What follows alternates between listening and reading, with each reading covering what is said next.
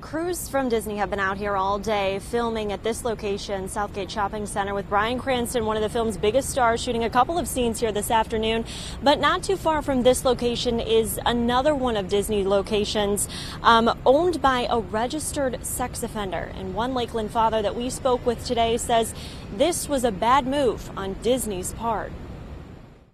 Oh my God, we're just having a blast out here. There's no doubt about it. Lakeland is thrilled to have Hollywood in its backyard. It's exciting, exciting. What's less than exciting is this. A home used in the Disney film said to be lead actor Bryan Cranston's home in the movie, in reality is owned by a registered sex offender.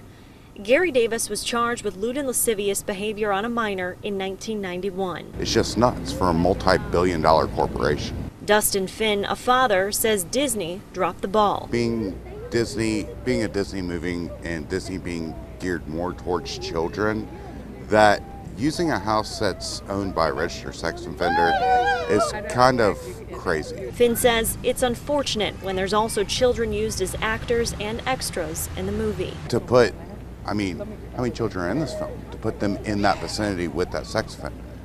You have to think about that. Yes, I know they paid for their crimes and they did what they need to do, but what's you know what's the rate of people going back to that?